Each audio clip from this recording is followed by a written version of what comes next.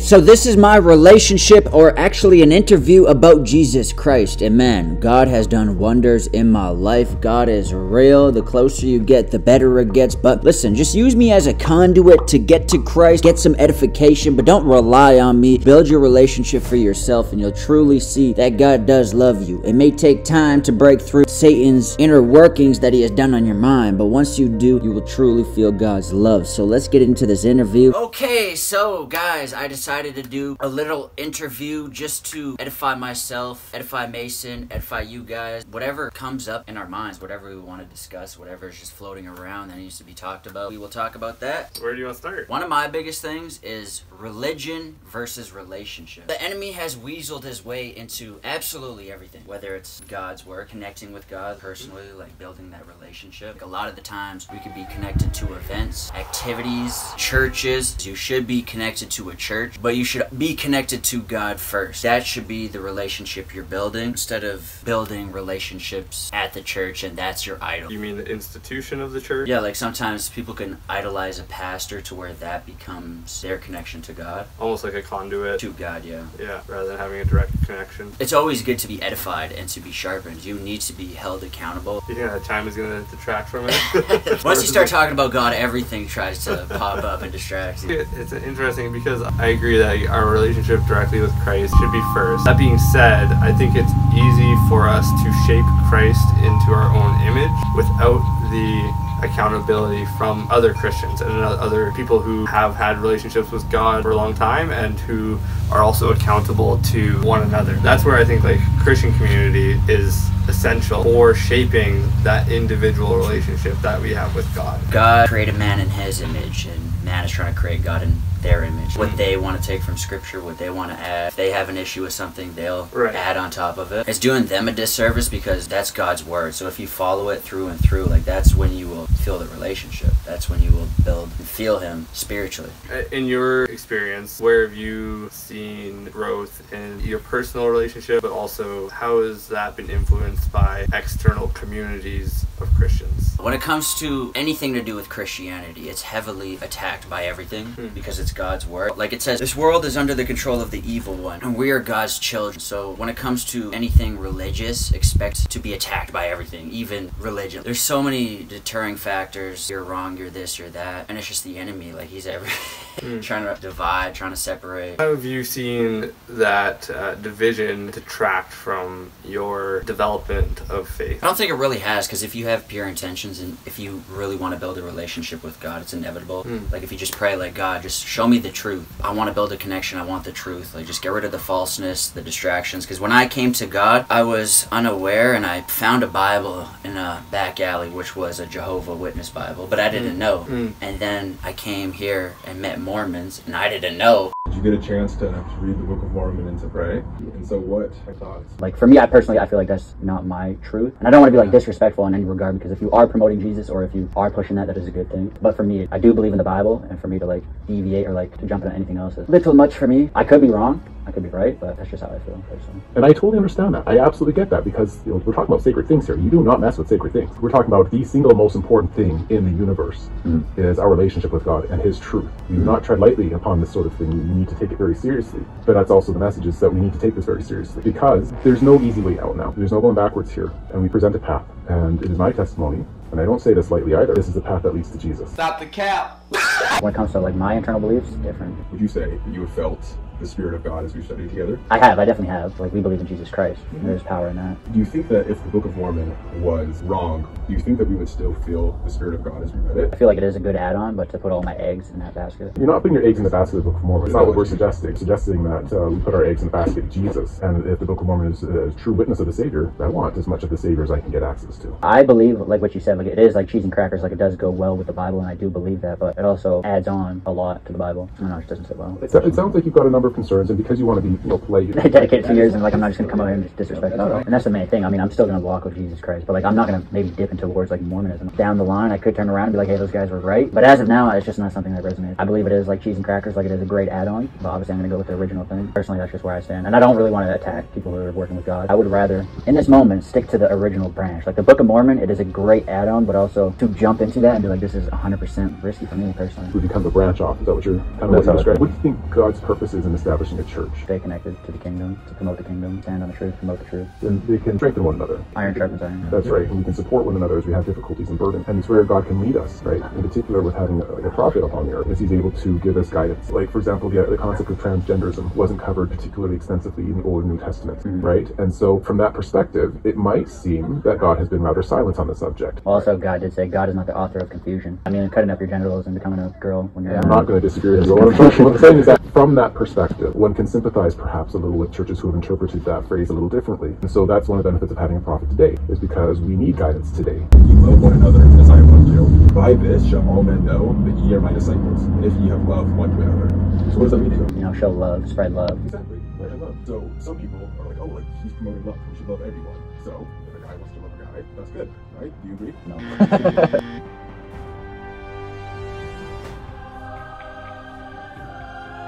And so and that comes down to interpretation. Well, there's also like other verses where it says a man and a female, like these are like standards that God has. But it also says love and do not condemn. So it is a sin, but don't cast a stone and don't judge. Yes. You can see how it's kind of confusing, right? Yeah. And there's churches who read this and they're like, oh, this is okay because of these types of things. And so that's why it's so important for someone to actually still be talking to God. According to the Bible, you will not find anything, no matter how much you love, that says that being transgender is wrong. Not even kind of. So by that logic, being transgender is okay. Listen, God wants to save everybody, so obviously, in God's eyes, He wants male and female. Yeah. But He's not going to cast stones at that. He wants everybody to be saved, so He's not going to go up to that person and be like, this is wrong, this is wrong, this is wrong. He's going to draw them in and correct, and over time, get rid of their sins. There are all these different paths. They're all Christianity. You got Baptist, you got Catholic, you got whatever. All of them are different. And then there's one path that says that we still talk to God. That says that God still has a prophet that tells us specifically what He wants for us. Every other Christian religion in the world, no matter what your views are on any of like gender or anything, no one can point to Scripture and say this is where it says you shouldn't be transgender because it doesn't say that. But it also, like I said, it says God is not the author of confusion. And like just being a male and a female is not confusing. It's simple, it's basic. And God wants that. But God wants love as well. And He doesn't want you casting stones. So it's not okay, but you're not supposed to go out of your way and be like, that's not okay. The point is that people see it differently, and it can be hard to see where the core is, where the path is, and, and where people may have veered off. Why prophets are so important, for example. Now, what we've, what we've got is you've got the restoration here, where God again calls a prophet to reestablish his gospel. Now, some might say that all of these guys are the core in the middle of the path, and that this guy's the branch. But at no point has the new prophet been the branch. Every time he's been the core, he's established the core. But that could also set up for the Antichrist. Like you see how there's a new prophet, and then mm-hmm. this could happen again, and there could be a new prophet, and there could be the Antichrist who leads everyone astray. That's That's definitely a possibility. That's. Absolutely. Yeah, that's that's why very the scriptures say, you know, beware of false prophets, but then it immediately goes on to say, but test the spirit, right? And that's why we're not just talking about, oh, here's a new prophet, you should believe it. Mm-hmm. There's a new prophet, you should ask God if this is a prophet or not. The only one who can confirm to you from God that this is indeed the prophet is God, and will testify is the case, is that this isn't the branch, this is the core. Mm-hmm. This is the main path that has been the path from the beginning and will be the path when the Savior comes again. What I'm suggesting and stating outrightly is that anything that's not the path is a branch. There's a lot of Christian churches that baptize people as a baby, right? And there's a lot of Christian churches that believe that you don't. Mm-hmm. So if I were to ask you, what's what's the answer? What's right? I mean, there's no scripture I, I, that I know of. If we were to go right now, page through page through, through the entire Bible, you're right. There is nothing that says in the Bible that It's very clear that except a man be born again, he cannot enter the kingdom of heaven. And so that's where, in the Book of Mormon, it actually talks about it. It does. It's so beautiful. It's so it's amazing, and it deals exactly with what you said. Do me a favor, please. Get out of here. Get out of here, man. Shit, I'm saying. But there's so much that's beautiful about what the Book of Mormon reveals about God's path. It's not that it adds to God's path. God's path's always been God's path. It's been there the whole time. God's truths have always been God's truth. The only thing that changes is how much of it we understand. God's truth remains constant. It's our knowledge of it that varies. Not only in what we know, but how accurately we know it. The Book of Mormon adds to God's truth. I like to say that the Book of Mormon adds to our knowledge of God's truth. It's not gonna fly with me. Personally, that's how I feel like deep down. I just can't force it. For me, I would just rather stick to the, the original copy and just stay to that. And I do believe the Book of Mormon, it is a good add-on. You don't believe in what I believe, and I don't really believe in what you believe in. But there is respect because we're with Jesus. I mean, at the end of the day, we're saving people. And, you know, if I'm incorrect, somebody could be like, you're wrong, but you have led me in the right direction. For somebody coming to you, they could be like, well, that's wrong, but you let it, like, you know what I mean? Like, we're all leading people in at least the right direction. So it's not evil, it's not wicked. The enemy loves to lead you astray. That devil loves half truths Mm, right. because there's no power in a half truth. Yeah. When it comes to God, it's the full thing. Even if, you know, sometimes it hurts. Because even myself, I'm like reading the Bible, I'm like, I don't know if I could do that. This is hard. Because when you're a Christian in the world we live in, people will start to show their tail and their horns, Hmm. and you constantly have to turn your cheek. You constantly have to forgive. And you always have to be in a state of self reflecting, which is hard. So it's easier to reject God in this world than to turn and lean on God. I've had so many moments of like, man, do I really want to keep leaning in? And that's why my connection with God is good because I constantly take my issues to God if I'm struggling to press in even more. I've had moments where I'm like, am I willing to die for this? Yeah. I see the state of the world, and I'm like, no.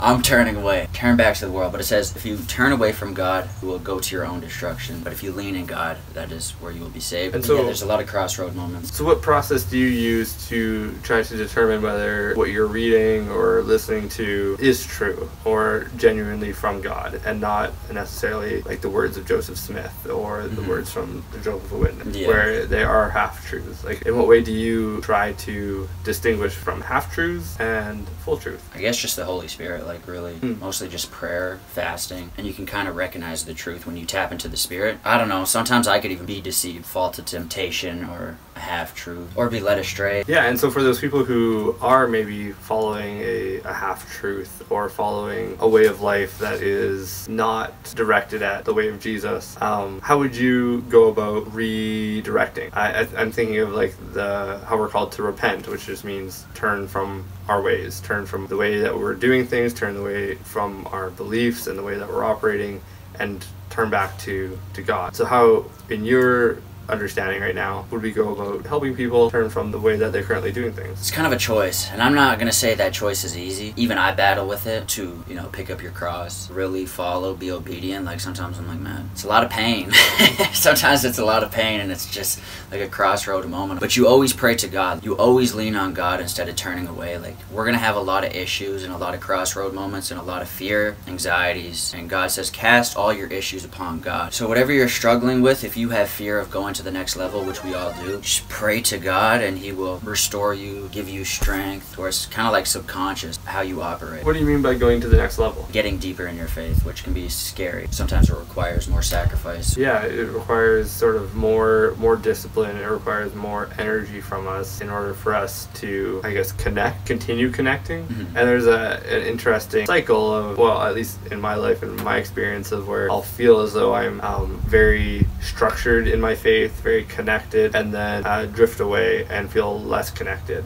And less, like you were saying, connected to the truth. And it's uh, often a slow separation, but there's like a wave that is happening. And I think this is where having other Christians in our life helps lessen that wave and lessen the extremes, where it's then more of a shallow wave rather than these high valleys and low peaks. Helping out with youth group and, and going to youth group growing up, you were able to sort of observe whether that's people your age or people younger than you, uh, go through these peaks and valleys of experience. And these experiences really dictated the connection individuals felt with God and with Jesus. I think by having Christians around us, we're able to maintain maybe those peaks longer or and, and come out of those valleys quicker. But in that time, we're able to reflect on why are we in these positions? Why are we experiencing this elation of of being connected to God, or why are we experiencing this maybe depression, being feeling disconnected, mm-hmm. and coming out of those both those things? I think we're then able to return to maybe a, a constant that is the truth and that is the way of God, and see this is what I need to be doing and where I need to be in life. So it's like coming out of that depression, coming out of those low points, coming down from those high points, meeting back at sort of base level, and doing some more work in not only our own individual faith development, but also how are we uh, sharing that love with those who maybe don't have that hope that Christ offers, or those other Christians who are at the moment in one of those peaks or valleys. Billy Graham, he said, Sometimes I feel Christ so closely I could do a jig, and sometimes I don't feel Christ at all. Mm. And he's like, maybe that's when Christ is the closest because he's testing. you." And I like that. I was like, whoa. Oh, I want to tell you, there are times that I feel Christ so very close that I feel like standing up and dancing a jig. There are times that I feel like shouting hallelujah. And then there are other times I can't even touch Christ. I don't even feel him at all.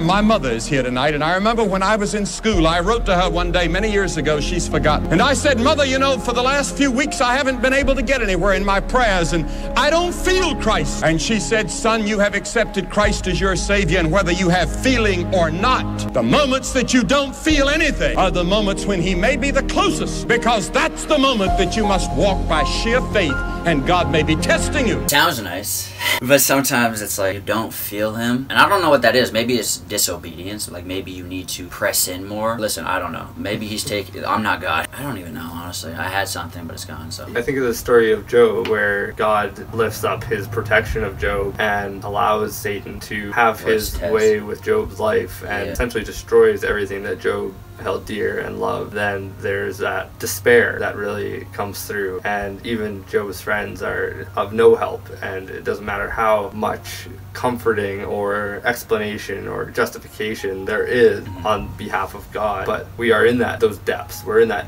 those dark nights. And then yeah, you're right. I think that's where at least in the Christian tradition where Christ offers that hope of of redemption, uh, healing, of recreating all that is broken and healing everything that is separated from God. Sometimes when you're close to a breakthrough, that's when the enemy will try to deter you, really mm. attack you, really press in. Listen, the enemy is smart.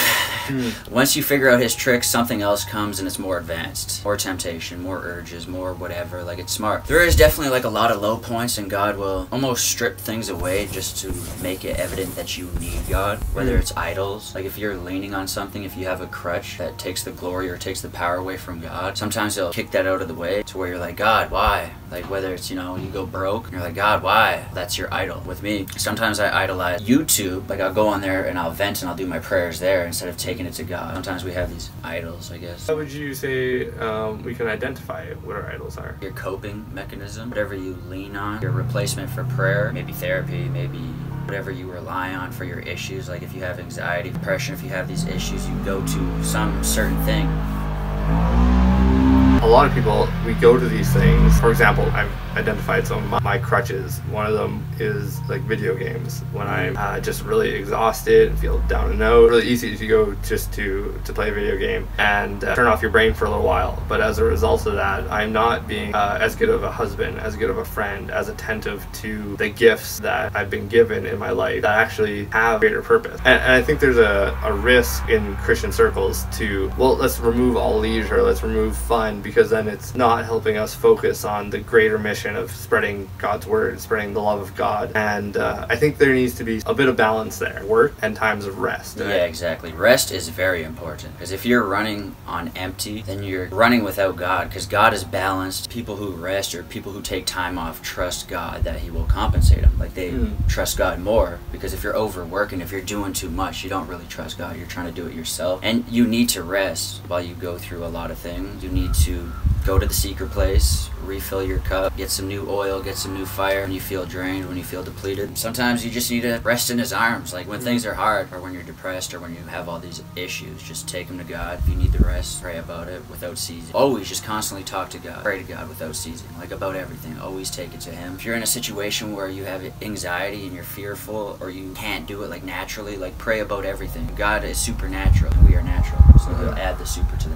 Before God, I had anxiety like crazy, just about ridiculous things. Like I would be scared of literally nothing, and I feel like a lot of people are. I'd be scared of nothing. I'd wake up and I'd be scared. God says the righteous are as bold as a lion, and the wicked flee from nothing. And I was sometimes fleeing from nothing. Like I was just all types of messed up. What you see now is just what God can do. I don't have anxiety. I don't have fear because I pray about it. Yes, I have fear, and sometimes I have maybe anxiety when I'm reaching a level or something, but it's prayed about and it's healed. And I do have issues, but it's all prayed about, which restores, which heals. Because when you're not with God or connected to God, the enemy has complete free roam over your life, and he's the father of lies. And that's what we're experiencing in this generation is just attacks in the mind of lies, of doubt, of fear, of anxiety, robbing purposes, robbing time, and it's a lack of connection to God. Because God truly renews the mind. He says, Do not be caught up in the patterns of this world, but be transformed by the renewal of your mind. And that's why God's important, because He will truly renew your mind so you can have the strength to not have this fear blocking you to not have this anxiety blocking you so you can chase your purpose and so you can have strength doing it with all the trials. Life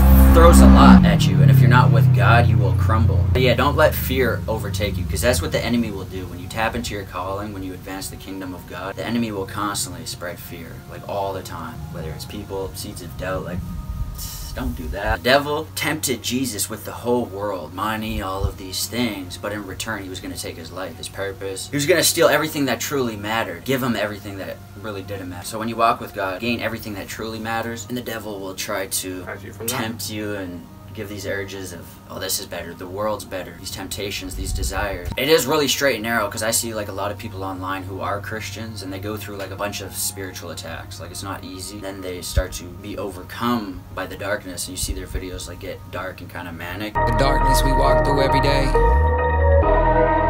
it can become a part of you.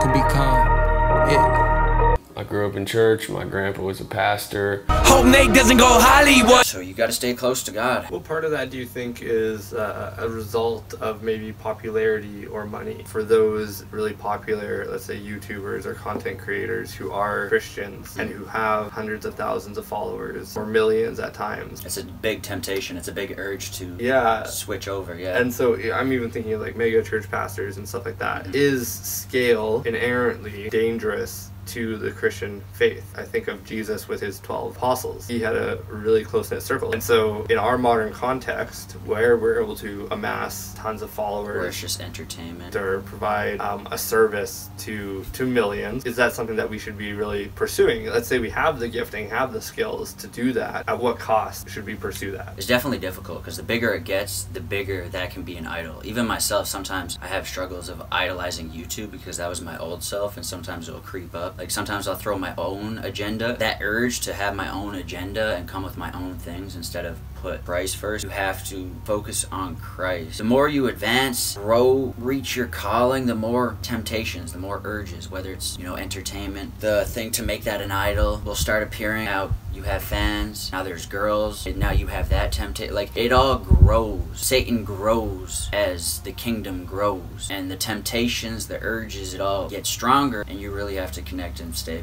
as close as possible to God.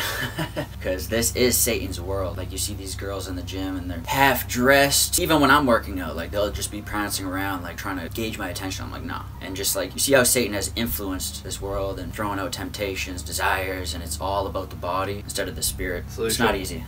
just don't go to the gym easy that's that's my solution you know just don't go to the gym it's it's bad place No, It's not kidding. that, but I notice every time I go to the gym, like some thicker chick will start walking towards me and try to grab my hand. I'm like, yeah, that's Satan. Like, this is so ridiculous. what's your purpose then you're aware of these distractions you have these challenges and you're navigating what your own faith looks like and you're reading the bible lots and in prayer where has that led you to what your purpose is and then also where are you finding your community that support you in that When it comes to community, I'm always just so like hyper conscious of the devil. I'm like, oh, yeah, he wants to get close. He wants to masquerade as light. He wants to get close and create something, and then he's.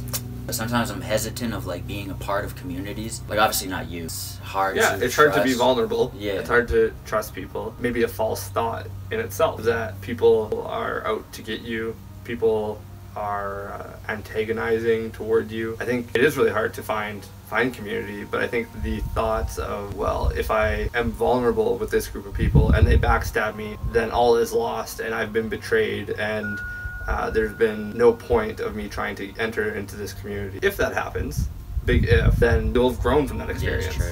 you'll you'll be able to see what are the markers of unhealthy individuals or unhealthy groups. Is there a group of people within this church who are not following the way of God and who are merely following the culture of Christianity. And the more you enter into that vulnerable place and possibly get hurt from it, hopefully the more you'll develop indicators on, oh, okay, this is something that's not very healthy. This is what this behavior or this type of language can transform into. And then hopefully you'd become someone who shapes and finds other individuals who are searching for healthier relationships. Every person should be connected to a church. I guess I'm just like kind of waiting for the realness. At this point of time, it's mostly just relationship. A lot of the times, like religion can snuff out that fire, can snuff out that spirit, that Holy Spirit. When you say religion, you mean like the organizational structure of faith? Yeah, you're overly connected to the world. Sometimes you got to be on the outside looking in to where you can truly like bring that spirit, and then you bring the spirit, show what God truly is. See, the issue with churches nowadays, that's where the enemy loves to be. When you bring the truth to a church, you know, it's said in the Bible that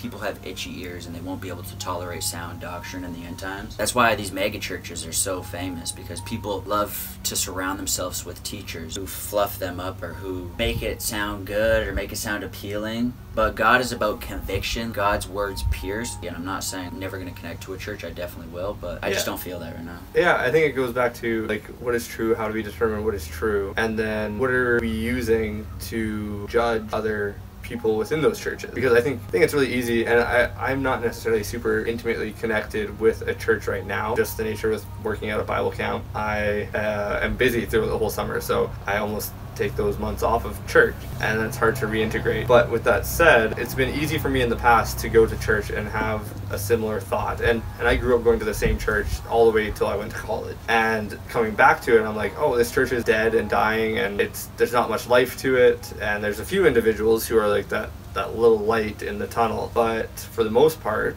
it's not bringing life. Sure we could write it off as this is where Satan likes to hide. This is where uh, deception can can lie wait for us. That's the structure that, that we've been called to, that Jesus has called us to. And maybe our modern versions of it aren't very accurate to it. Um, but then I have to ask myself, am I doing more good for the universal church of Christianity to disengage from that entirely? Or am I doing more good for it to be within it, be amongst people who I disagree with and don't see eye to eye with and think are uh, deceived in some ways and shape it in that way by asking questions that maybe are challenging? At least for myself, that's where I hope to find myself. And I know it's difficult when you have different desires. I'm just thinking to the degree that I would like to see a church involved in the community, uh, participating in like a social gospel. You can tell when somebody's a man of God, like they have that glow. I went to this one church and I was about to get baptized. There's this one like righteous dude, just had some glow. And I feel like when you carry the presence of God into a church, it's like headhunting season. It's dominion, right? Like Satan has dominion, God has dominion. And when you go up to these places, it's headhunting season. There is unclean spirits in the church. And if there's no conviction, if it's a watered down gospel, there's no deliverance, you're not casting out demons. The demons are there. If it's a half truth and it's not convicting, church sometimes it makes you feel satisfied with your sins. You feel good about your sins because they kind of sugarcoat it and you're like, leaving the church, it's gonna be okay, it's gonna be good. It's kind of just like a fleeting moment. You truly need that conviction to feel the presence of God. Whichever way you can feel that conviction, whichever way you can build that relationship, whichever way you can feel His presence, whichever way you can get that oil, whichever way you can get that fire, go in that direction. Anything that waters it down, anything that snuffs it out, man, what can you do? You live in a shoe. Then some people I've heard feel closest to God when they're doing marijuana or doing other drugs. I don't even know if doing marijuana is the right way to say that. Doing drugs or drinking alcohol or spending money. They claim that that's when they feel as though, oh, this is this is God's presence in my life. And so I think it's it's challenging for it to be written off or to proclaim that our connection is almost like emotionally based. Like I, I'm just thinking back to the beginning of our conversation where it was like, how do we know if something's true? And you were kind of saying, well, where are we feeling it's true, right? Um, so I, I'd be hesitant to go that route, mostly because it's really easy for our emotions to deceive us. A breakdown on emotions and what emotions are. Emotions are unstableness. Emotions are double mindedness. It's when you have one foot in with God, so you may have these holier than thou thoughts of peace, of joy, of love, of the right thing that you should be doing in life, and you have one foot in the door with Satan, these negative, disturbing, destructive, depressing thoughts. That's what emotions are. It's a wavering between good and bad, faith and doubt, love and hate, peace and anger. And when you feel true, pure peace, there's no deceit, only God, because that is God's language truth, love, and peace. The fruits of the Spirit, that is where God dwells. And the more connected you are with God, it's not emotions, it's not just a scatter of weird things popping inside of your soul. It's a constant soul feeling that is undeniable. And I feel like 99.9% of Christians have never felt this. They do not know the God that they even serve. They don't know the God they actually serve. Yes, they go to church on Sunday. Yes, they can read scripture. Yes, they can correct you day in and day out, but they don't know the God they serve because they idolize the church. They idolize being a Pharisee and shoving scriptures in your face. But God is a God of connection and intimacy. And the more intimacy and the more connection you build by applying, not just reading, by applying and being obedient, the more you will feel God inside of your soul. And it's not emotional, it's soulful, where it's constant, it doesn't waver. It's a peace that surpasses all understanding, that never leaves. It only grows with the more obedience, with the more you dive into that relationship. And it's crazy how many spiritually dead Christians there are that have never experienced this feeling. It's because they have connected themselves to Christian organizations, Christian groups, the church, the activities, but they never took the time to connect with God. And God says, if you are lukewarm, I will spit you out of my mouth. So if you're a lukewarm Christian, there is no relationship, there is no presence. God has spit you out. Get deeper in your faith, build that intimacy, build that relationship, go to the secret place fast. Get to know the God you serve and not just the activities, not just the people, not just the services, not just the things that surround God, the external things of this world that will pass away. Get to know the God you serve and be obedient, apply His word, take some time out of your day to read some scripture instead of reading Instagram captions. I think it's good for us to to look at our faith, right? To to Yeah, but are the people in the church really abiding by God? Are they really applying that scripture or are they reading scripture? And that's the difference. You know, you get the connection by applying the scripture, God's word. We could read all day. We could be in a church reading, singing hymns all day, but it's about obedience. God knows the intentions of your heart. He knows you. And that's where you feel the presence when you're obedient, when you apply the scripture. If you're around a bunch of people who are reading but not applying, I would agree. and if you're applying and you're carrying your cross, you're in a different direction. You're not in a like listen, you may not even be in that church. You may be doing a purpose or what God has called you. I listen to my chest, I feel it in the wind I know that I'm obsessed, that's how I'm gonna win Yeah, I trained for this Yeah, I prayed for this. I didn't change for this. I was made for this. I feel the quest, it's pulling me in I don't want no rest, I need a weekend. I listen to my chest